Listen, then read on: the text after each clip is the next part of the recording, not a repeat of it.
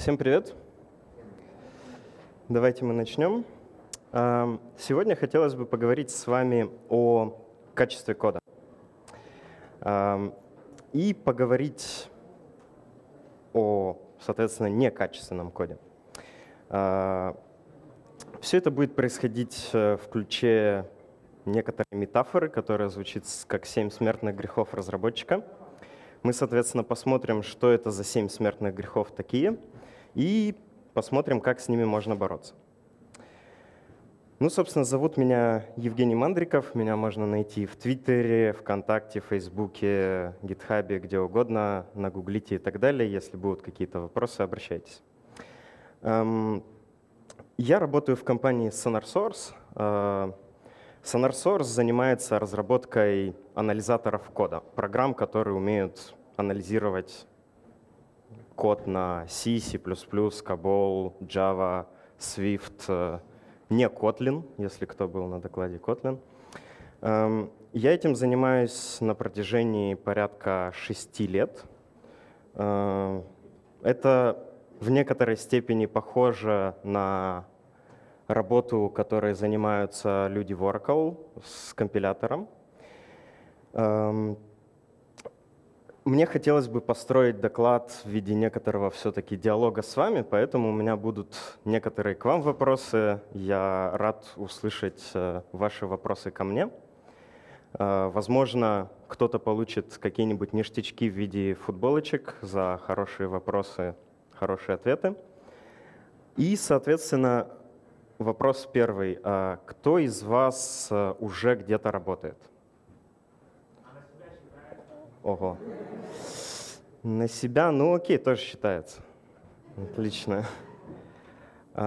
Есть ли кто-нибудь младше, чем третий курс? Окей. А сколько людей там младше, чем пятый курс? Окей, спасибо.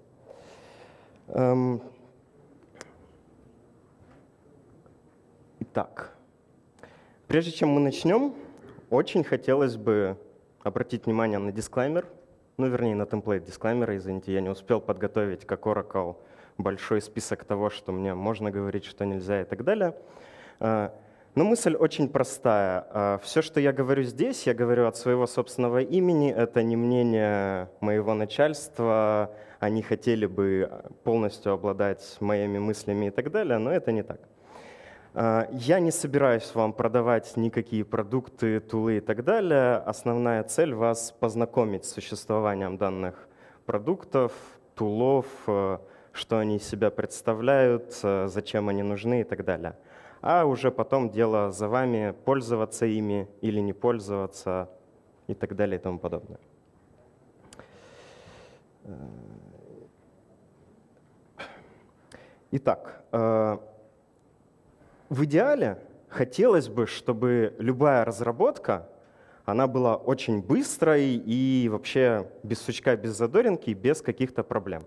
Вот есть такая замечательная цитата, что хорошо написанная программа — это программа, где стоимость внедрения какой-то новой функциональности, она вообще является константной на протяжении всего жизненного цикла этой программы. То есть там, начиная с дня 0 и, и заканчивая там, релизом номер 100-500. Вот. Ну и, соответственно, если вы любите графики, вот это должно выглядеть как-то так. И в идеале, вот в, сферич... э, в мире, где у нас есть сферические кони, это было бы вообще очень приятно, э, потому что мы хотим, грубо говоря, заимплементить 10 фич, мы сажаем 10 разработчиков, и они у нас их имплементят там за один день. Сажаем 20 разработчиков, они там имплементят за полдня. Вот. Два, ну или за один день 20 фич. На самом же деле, на практике, на практике все немножко сложнее. Мы все знаем народную мудрость, что чем мы дальше в лес, тем нам труднее. И на практике получается, что чем проект старее, а, чем больше мы в него сил вкладываем, тем сложнее нам становится вкладывать в него силы. А, соответственно, возникает резонный вопрос, а почему так и что с этим делать, как уменьшать вот эту вот стоимость разработки, от чего она вообще зависит и так далее и тому подобное. Ну вот собственно, как всегда, нам хочется сделать как можно лучше. Вот. Нам хочется построить замечательный мост, по которому приятно ходить. Вот. А на практике получается как-то не так. Вот. Ну, отличие, я думаю, прекрасно заметно. А, почему так получается? А, на это и мы будем отвечать. Это происходит из-за того, что накапливается некоторый технический долг. Что такое технический долг? Ну вот можно провести аналогию с банковской системой. А, допустим, вы хотите купить квартиру, но денег у вас нет. А, вы что-то зарабатываете, но вот конкретно всю стоимость квартиры на данный момент вы оплатить не можете. Что вы делаете?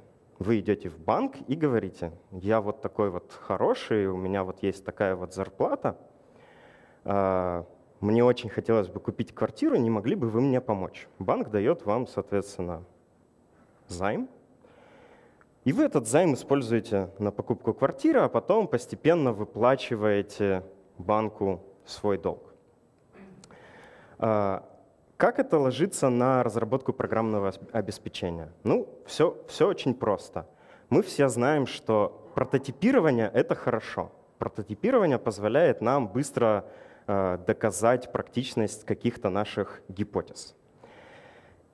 Что такое прототипирование? Прототипирование на практике — это давайте сделаем что-нибудь очень быстро, чтобы доказать вот быстро нашу какую-то там теорию, и потом после того, как мы уже доказали, показали, мы, соответственно, доведем эту реализацию до конца, и это вот будет там наша фича, наш релиз и так далее и тому подобное. А, и вот это вот давайте сделаем быстро, а потом поправим, сделаем хорошо, заткнем все дырочки, засунем нужные костыли и так далее, это тот же самый долг, что вы берете в банке. Вот вы сначала говорите, мы делаем быстро, а потом выплачиваете этот долг, э, фикся все, что вы не сделали хорошо в самом начале.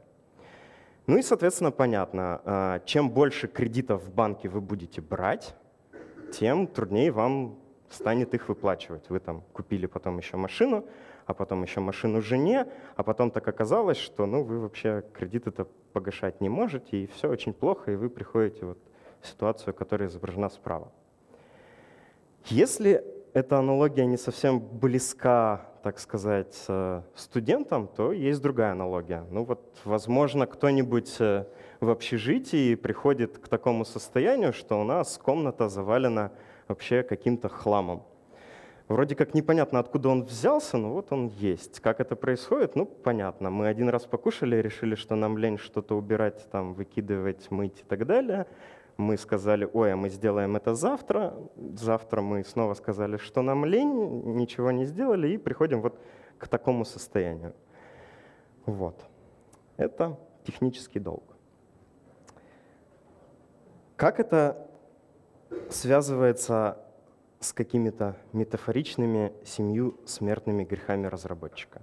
У кого-нибудь есть идеи, а, что может входить в список семи антипаттернов, так скажем, плохих вещей в программировании?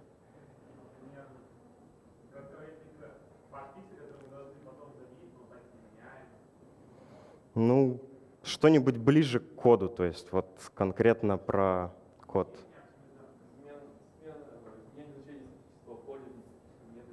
Но это слишком конкретно. Говнокод слишком вообще. Magic numbers, окей, okay, хорошо, допустим. Premature optimization, окей, okay, хорошо. О, копипаст, отлично. Кто сказал? Я вас запомню. А как-нибудь можно это обобщить каким-нибудь красивым словом? Ну окей, я вас тоже запомнил.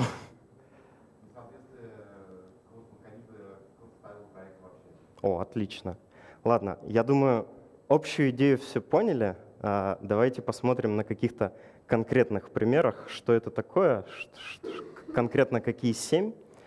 А, вообще небольшое замечание. А, эта аналогия идет э, из Sonar Source. Мы вот считаем, что есть семь каких-то категорий, я их сейчас назову.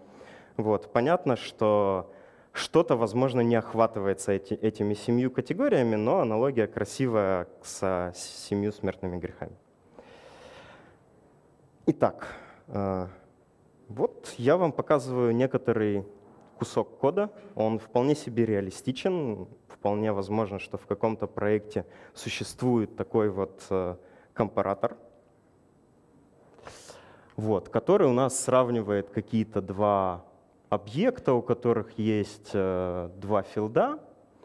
Вот. И мы хотим какой-то ордер, понятно, мы сначала сортируем по первому филду, потом хотим отсортировать по второму. Вот. И вот пишем такой вот компаратор. Какие здесь есть проблемы?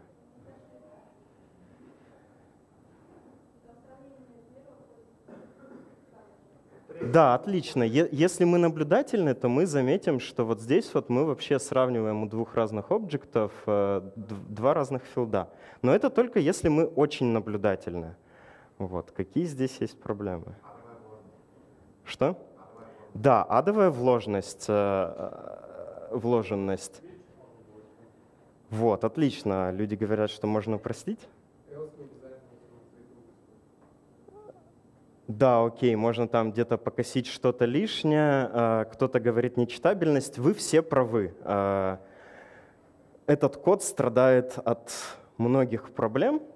Вот. Можно, конечно, сказать, что у нас нечитабельность растет э, ногами, руками и всем чем угодно в то, что у нас Java Verbose, и на самом-то деле надо было юзать какой-нибудь э, Kotlin, я не знаю, JavaScript и прочее, где можно не писать точки с запятой, а вообще еще существуют языки там по типу Python, где не нужны фигурные скобочки, и вот у нас было бы все компактно, замечательно и относительно. Но на самом-то деле Java винить не в чем, Java тут ни при чем. Проблема этого кода в том, что он сложный и он нечитабельный, ну, потому что у нас объекты называются O1, филды называются F1 и F2. Вот. Соответственно, здесь мы говорим о первом смертном грехе. Это вообще сложность кода. Вот. И есть, понятно, много замечательных цитат у Альберта Эйнштейна на эту тему, которые гласят, что вообще, ребята, давайте не будем делать сложных вещей. А, если вы что-то не можете объяснить там самому себе, своему коллеге, или если вы что-то не понимаете там спустя я не знаю, вы сегодня написали, скоммитили, завтра пришли, э, посмотрели, ой, что это я вчера написал, ой, надо потратить x э, часов, чтобы понять, ну, выкиньте такой код сразу и упростите. Вот. Есть вообще замечательный принцип, называется он KISS. Э, нет, не подумайте, я не советую вам покинуть аудиторию, найти жену и так далее и тому подобное. Нет, этот принцип расшифровывается как э, keep it simple, stupid. Ну, переводится как держите вещи простыми, э, очень простыми. Short and simple, super simple. Ну, вот, как-то так. Второй э, смертный грех, мы его называем дизайн спагетти. Вот. Но вы себе представляете, что такое спагетти. Вот. Я вам дам некоторое время осмыслить картинки, я могу, в принципе, попереводить. А, есть такой, так скажем, комикс Geek and Pog, ну и вот в конкретно этом примере а, обсуждается дизайн какого-то приложения. Ну и, и, и, вывод, и вывод простой. Вот у нас очень-очень много слоев в нашем приложении. У нас есть, э, там, я не знаю, э, слой базы данных, на этот слой базы данных навешена какая-то абстракция, на слой этой абстракции навешена э, какой-то remote procedure calls, веб-сервис и еще что-то, а там вот сбоку у нас при, при, при, прибегает вдруг другая база данных, и мы ее как-то по-другому там вкручиваем и так далее и тому подобное. Э, и вроде бы как э, все красиво, все по слоям, по слоям разложено, но внутри оно все связано вот как, как спагетти в тарелке. так делать не надо. Вот. У меня нету какого-то конкретного примера на спагетти дизайн, потому что ну, просто в слайд не влезет. Эм, следующий смертный грех, который мы выносим, это на тему комментариев. Ну вот опять Geek and Pog, соответственно, есть какой-то комментарий, возникает вопрос, что этот комментарий делает, ну и такой вполне резонный ответ. Да не, не, важно, что написано в комментарии. Этот код э, может делать что угодно, надо внутрь смотреть. И на самом деле на практике так и происходит. Вот это прям абсолютно без... Нет, окей. Это с исправлениями, то есть э, здесь вставлен там один лишний enter после фразы, ну это для красоты композиции. Во всем остальном это выдрано из реального проекта. Ну и понятно, вот у нас проблема. В комменте написано одно, код делает другое. Вот. Как с этим жить, вообще непонятно. А, так делать не стоит. А, внимание, вопрос. Вот это лучше? Почему?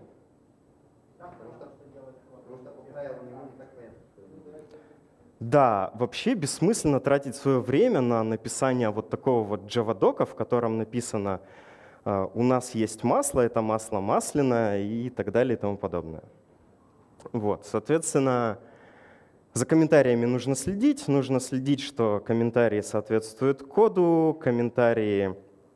Э, а, общая рекомендация моя личная. Э, комментарии должны описывать не то, что вы делаете, а зачем это вы делаете. Вот. Ну и понятно, чем меньше код, э, тем, скорее всего, меньше вам надо комментировать, потому что сложностей в нем должно быть меньше и, соответственно, вам не нужно описывать, зачем вы это делаете. И вот в данном конкретном примере с геттерами, ну, это геттер. У нас известна конвенция, если get что-то, мы, наверное, получим значение филда и так далее и тому подобное. Следующий смертный грех — это стандарты кодирования. Ну и опять же, вот небольшой pog — Э, о стандартах кодирования можно спорить часами, можно устраивать холивары, на какой строчке мы пишем скобочку, на какой строчке мы скобочку не пишем, где мы сколько вставляем пробелов, э, я не знаю, как мы именуем методы, филды, классы и прочее, как мы все это там, я не знаю, раскладываем по пакетам, и так далее и тому подобное, третье, пятое, десятое. Э, спорить об этом можно часами, но важно, что стандарты кодирования нужны. Если вы работаете один, как вот молодой человек, тогда окей, у вас проблем не возникает, вам не нужно ни с кем договариваться, как вы пишете код, потому что код вы будете читать сами, и вы с самим собой наверняка легко договоритесь. Если же вы работаете в какой-то команде, то было бы неплохо договориться о том, как вам приятнее писать и как вам приятнее читать. А, в противном случае а, можно прийти к таким ситуациям, как а, Сегодня вы пишете комит, вы используете... О, отличная тема, табуляции white space. Вы пишете комит, вы используете Э, табуляции, у вас в идее там все настроено, оно там по 4, по 2 отступа размечается, все у вас красивенько и так далее. Этот комит прилетает к какому-то вашему коллеге, э, у этого коллеги, я не знаю, какая-нибудь там другая среда, или он просто там в команд-лайне смотрит ваш код, и бац, вдруг у него все поплыло, он увидел там эти табуляции, ему табуляция не нравится, он следующим же комитом засовывает, а давайте уберем все эти табуляции, ой, а еще я вот здесь вот пофиксил какую-то там багу. И в итоге в дифе вы смотрите, и у вас изменение стиля, потому что кому-то такой стиль не нравится, оно замешивается с каким-то функционалом. Ну, это как-то плохо. Соответственно, за стилем нужно следить. Есть, э, да, и здесь у меня будет к вам следующий вопрос. Э, вот большинство из вас сказало, что вы уже работаете. А, по вашему мнению, а, на что вы тратите больше всего времени на работе? Я не работаю, но нажать не пробел. Окей. Отлично. Да, э, вообще на самом деле э, большинство людей, скорее всего, скажет, что ну я программист, я разработчик, я пишу код. Вот. Это заблуждение, ну, потому что исследования показывают, что большую часть времени программисты на самом деле читают код. Они его не пишут, они в основном читают. Там 80% времени вы занимаетесь чтением кода своего, чужого, Э, непонятно уже кем писанного, давно забытого и так далее и тому подобное. Ну и вот на тему стандартов кодирования существует замечательная фраза. Писать для того, чтобы компилятор вообще скомпилировал ваш код или там идея вам сказала, что нет, это не скомпилируется и так далее и тому подобное, это очень легко. Вот там, я не знаю, пробел понажимали и все вот у нас получилось, потому что у нас в идее есть автодополнение и тому подобное.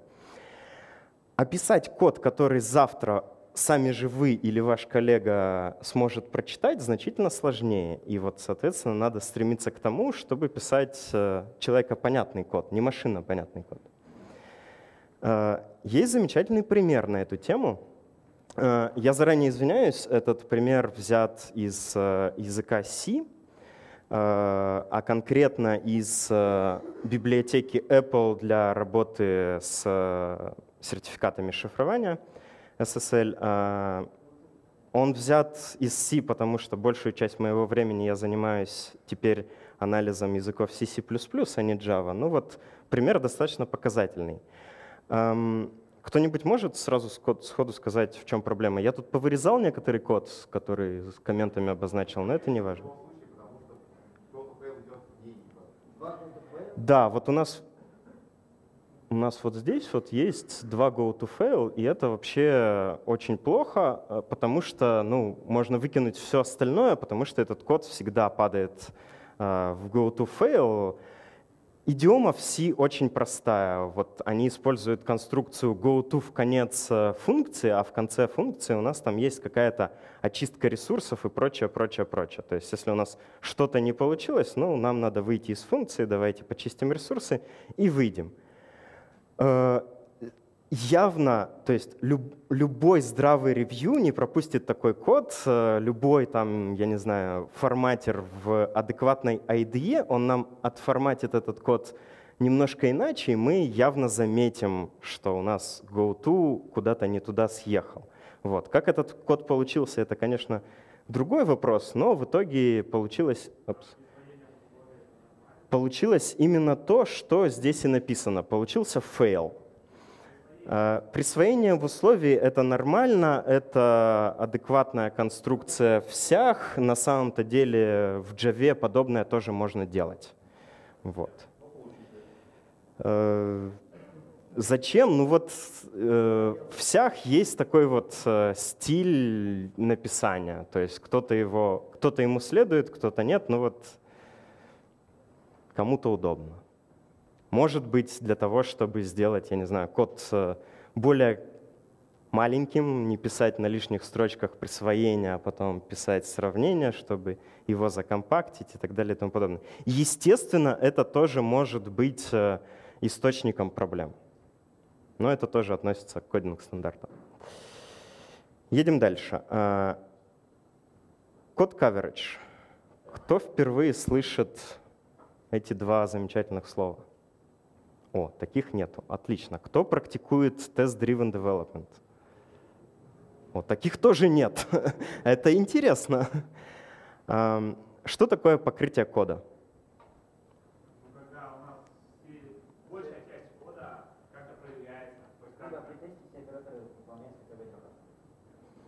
Окей, а, допустим. Кто-нибудь измеряет покрытие кода тестами из вас? А, то есть все знают, что такое покрытие кода тестами, но никто не следует ТДД и никто при этом не измеряет. Эм, ну, мысль очень простая. А, а, нет, давайте еще другой тогда вопрос зададим. Ладно, вы ТДД не следуете, и черт бы с ним, с этой методологией. Кто пишет тесты? О, уже лучше. Отлично, отлично. Ну так вот, если вы пишете тесты, э, кто присутствовал на докладе Шепелева, он знает, что как бы э, с черной коробочкой не очень приятно иметь дело. Хотелось бы что-нибудь померить, чтобы уметь делать какие-то выводы. Ну и вот, соответственно, для, тест, для тестов э, придумана такая вот метрика, которая называется код coverage. И есть тулзы, которые вот могут вам подсветить код и сказать, ага, вот все, что у вас зелененькое, это было исполнено во время ваших тестов. Все, что у вас красненькое, это не было исполнено во время ваших тестов. А, то, что вот здесь у нас э, желтенький, это то, что у вас там условие бренча, оно сэвалюэтилось либо в true, либо в false, но, но только в одно. У вас branch coverage не полный. Вы не посетили какой-то branch этого ифика. Ну и, соответственно, метрика очень хорошая, потому что, глядя вот на, такую визуаль... на такое визуальное представление, можно сразу понять, что ага, у нас не хватает теста вот для вот этой вот конструкции, и это вообще на самом-то деле очень плохо, это источник ошибок, потому что один день мы где-нибудь что-нибудь поменяем, и вот оно у нас свалится конкретно в этом месте. А, понятно, что можно смотреть вот на такой отчет, можно смотреть на более больший отчет, можно смотреть на количество строк кода, которые покрыты тестами э, в нашем приложении. Можно также поделить эту штуку на общее количество строк кода в нашем приложении и получить процент. Соответственно, код coverage можно измерять каким-то процентиком. Внимание, вопрос. Какое значение код coverage, ну вот в процентах для проекта, это вообще адекватное, приемлемое значение? Сколько? 70, ладно. Ну, ладно. 50. Гол, гол, голосовать будем? Кто за, кто за ноль? Вполне приемлемо. Ну окей. Кто за 50? Кто... Нет, здесь мы говорим про код coverage, про конкретно сколько строчек кода у нас оказалось там покрыто или не покрыто тестами. Use case coverage — это все-таки штука другая. О ней мы тоже можем поговорить, но здесь мы говорим про код coverage. А как вы хотите? Вот, замечательно. Вообще существует э, отличнейшее высказывание. Единственная цель мерить код coverage и писать тесты, ultimate goal всего этого — 100%. Святой Грааль. Вот 100% и не меньше. Понятно, что на практике это тяжело достижимо. Понятно, что э, на практике, там, я не знаю, UI-приложения тяжелее тестировать, чем какие-то консольные, какие-то библиотеки и тому подобное. Понятно, что на практике это сваливается э, в какие-то 50, 40, 70, неважно, у, у всех чиселки разные. Но стремление общее, стремление к сотне. Э, следует отметить следующую особенность. Если вы стремитесь к сотне, но ее не достигаете, но все равно стремитесь, а, рано или поздно у вас coverage будет расти вверх, чисто потому, что каждый раз, когда вы что-то трогаете, вы будете добавлять новых и новых тестов. Вот. То есть если вы следуете там, TDD или хотя бы стараетесь следовать, то вы будете приближаться к этой сотенке. А, почему? Ну, потому что, допустим, вот Google утверждает, что у них 80% их кодовой базы переписывается там каждые полтора года. Соответственно, если у нас не было покрыто 80% нашей кодовой базы тестами, но мы вот начали новые циклы разработки и теперь стараемся писать тесты, то мы вот 80% может быть покроем. Внимание, следующий вопрос. Вот у нас есть такой вот простенький классик. Ну, я, конечно, понимаю, что у нас есть MES э, из э, GDK, но вот нам почему-то захотелось написать свой MES. Мы вот его вот так вот написали, а потом пришел какой-то умный парень и сказал, ой, а что же вы TDD-то не делаете, давайте напишите тесты. Там, я не знаю, пришел босс, стукнул кулаком по столу и сказал, где тесты? Ну, вы сказали, окей, вот мои тесты. 100% coverage, 100% coverage. В каждую строчку заэкзекьютили, все отлично. Есть проблемы?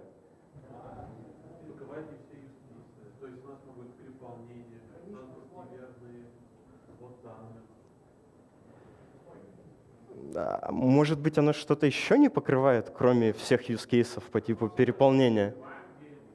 Что?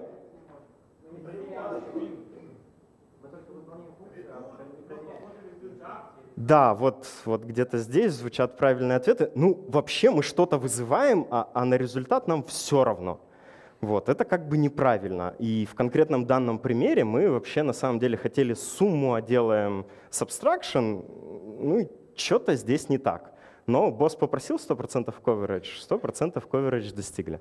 Строго говоря, надо вообще-то думать, э, что мы делаем. То есть тесты писать надо примерно так же осмысленно, как и мы пишем наш основной код.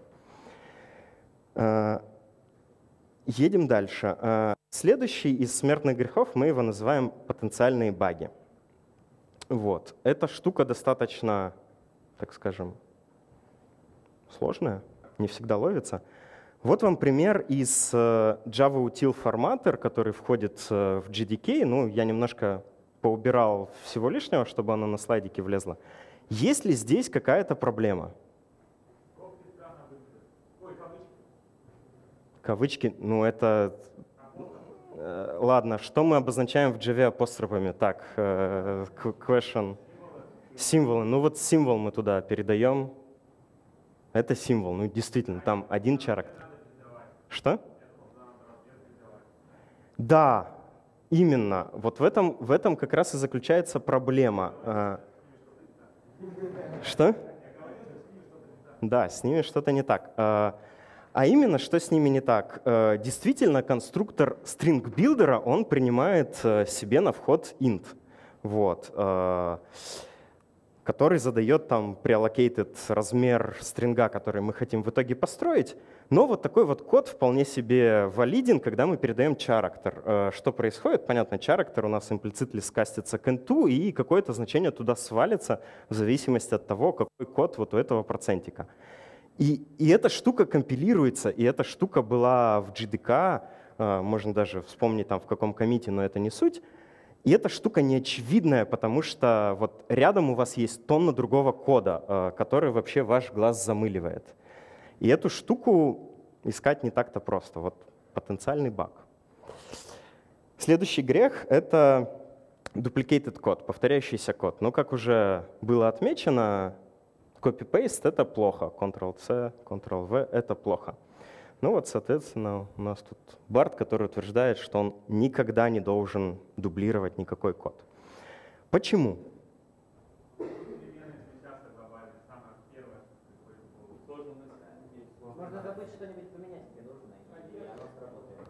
Да, э, проблема duplicated кода в том, что мы на самом-то деле duplicated код, он увеличивает в разы все остальные проблемы. Если у нас были потенциальные баги в каком-то коде, и этот код мы куда-то сдублировали, то мы можем, конечно же, пофиксить в первом месте эту багу, но забыть пофиксить ее во втором. Вот. Э, ну и так далее и тому подобное. Реальный пример, э, я опять же извиняюсь, это пример не джавовый, но синтаксис очень похожий. Это пример C-Sharp, это пример из, из Microsoft компилятора для C-Sharp. Вот у них там есть некая функция, называется need separator, и она там что-то делает. Кто-нибудь видит явную проблему? Да, вот у нас вот здесь вот явный duplication, который нам сейчас явен, потому что мы вот, опять же, повырезали все, что лежит рядом, и видим его. Но этот код был, опять же, скомичен в мастер, ушел в продакшн и тому подобное, существовал какое-то время, то есть код-ревью его пропустил, и, и вот. Соответственно, суммируя, 7 смертных грехов. А, плохое распределение сложности, плохой дизайн, а, проблемы с комментарием, мы не выполняем какие-то стандарты кодирования, которые мы сами же определили. У нас проблемы с тестами, у нас есть потенциальные баги, duplicated код.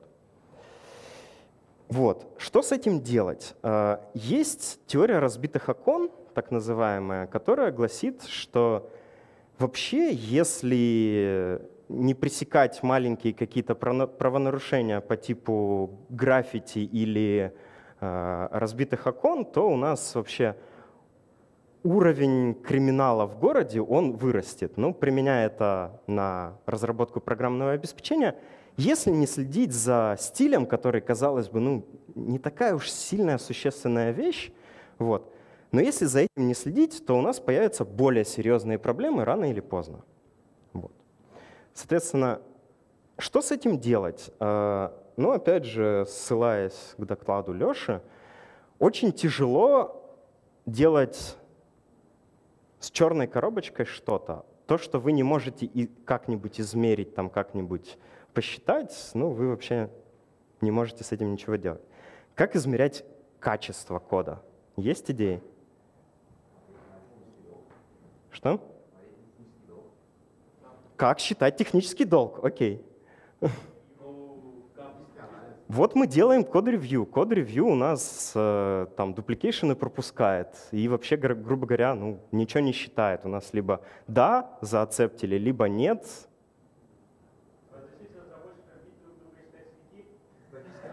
Кто-то говорит статистический, статический анализ прав. Что это такое, мы сейчас посмотрим. Э, считать синяки тоже верно. Вот есть такая замечательная картинка, э, что на самом-то деле качество кода, вот оно в VTF per minute, э, извиняюсь, what the fuck per minute вычисляется. Вот. Качество кода — это штука относительная. В какой-то одной команде один код будет считаться качественным, но для другой команды это может быть абсолютным бредом. У них там другой стиль, другие стандарты и прочее, прочее. Вот. С течением времени э, стандарты качества кода могут меняться, ну и поэтому мерить эту штуку достаточно сложно. Э, но, тем не менее, существует ряд продуктов, которые нам все-таки позволяют э, мерить некоторые метрики на коде и все-таки жить более спокойно. Можно мерить размер нашего кода, можно мерить, есть такое понятие, как э, цикломатик complexity. Оно считает, грубо говоря, сколько тестов вам понадобится, чтобы покрыть все строчки в ваших методах, в ваших классах и так далее. Есть essential complexity, которая говорит, насколько хорошо это там, в принципе, читабельно и так далее. Вот. Понятно, мы уже сказали, что есть coverage метрики, можно считать line coverage, branch coverage, condition coverage. Вот там были предложения, давайте считать use case coverage, feature coverage, пожалуйста. А, можно, можно автоматически детектить э, дубликаты кода э, и, соответственно, их тоже трекать, показывать и так далее. Вообще принцип простой. Люди дороги, ну им надо платить зарплату и так далее, они хотят кушать, а машины CPU дешево. Вот давайте автоматизируем любое треканье э, всего чего угодно по максимуму.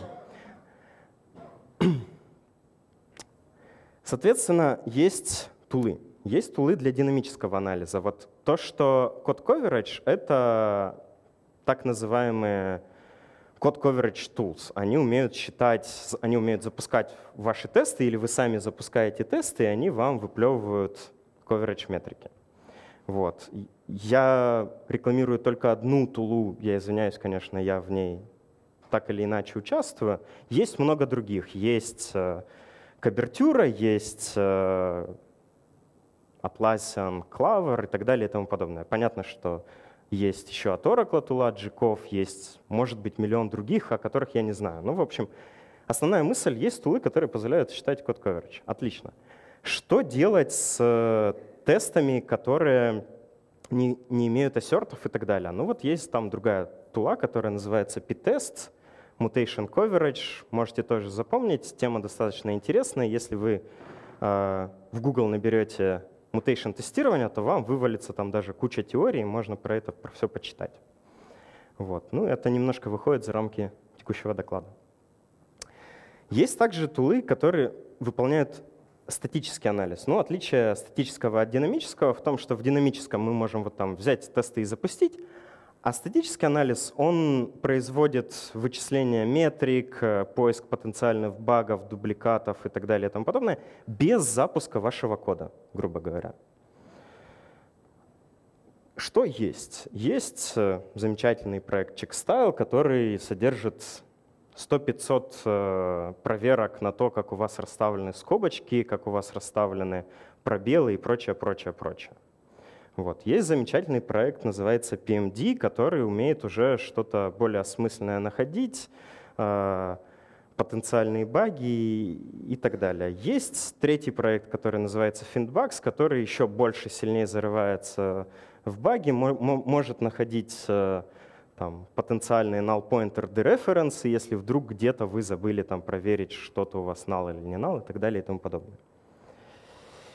Ну, окей, давайте вот мы тулзы заучили, давайте применим. Э, как можно применять? Ну, можно делать это, а вот у нас есть там какой-то цикл разработки, мы там, я не знаю, 5-3 недели, неважно, сколько-то, x, мы сидим и фигачим код. А потом у нас через два релиз, через два дня релиз, и мы такие, а давайте теперь пофиксим проблемы, которые мы вот зафигачили.